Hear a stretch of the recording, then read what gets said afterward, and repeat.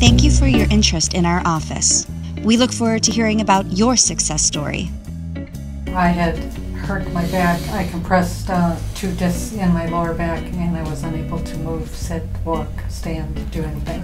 Yeah, I have myositis, which also uh, limits my motion in my legs, and the adjustments help get everything flowing correctly. I've been to chiropractors before and I really like the gentleness that um, Dr. Mike has with my back. I was in a lot of pain and um, he really helped me.